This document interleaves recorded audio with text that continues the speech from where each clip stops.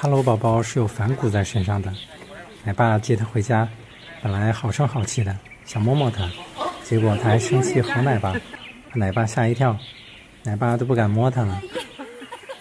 看他挺不乐意的，小脾气东西还挺大，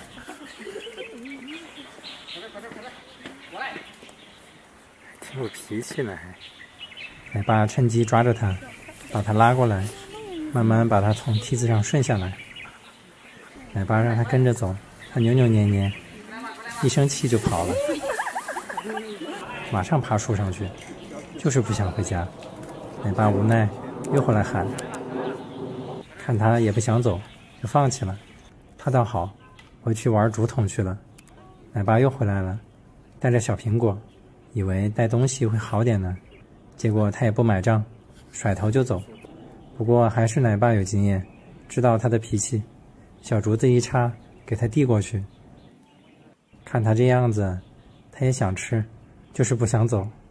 奶爸想抓他，又不敢硬抓，就把苹果往下放，吸引他。看他已经倒挂进沟了，奶爸干脆把苹果一放，直接上去把他抱下来。这次可终于老实回去了。